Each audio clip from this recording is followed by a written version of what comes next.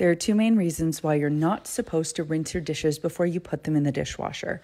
First, you actually waste more water by doing this. Just scrape the big particles off your dishes and put them in the dishwasher. And second, your dishwasher detergent actually needs something to cling onto so that it can work. If it doesn't have any dirt, it can't hang on to anything. I talked to my mom about this, who is a fanatic about rinsing her dishes before she puts them in her dishwasher. Okay, mom, so I just told you that you're not supposed to rinse your dishes before you put them in the dishwasher, and this is something you've been doing for many years.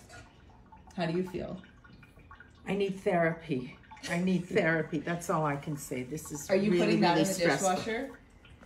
I'm going to put this in the dishwasher and we'll see how it goes. Do not judge how I'm loading the dishwasher because I'll never win a prize on that either. Well, mom, I wish you the best of luck, and may you find a great therapist.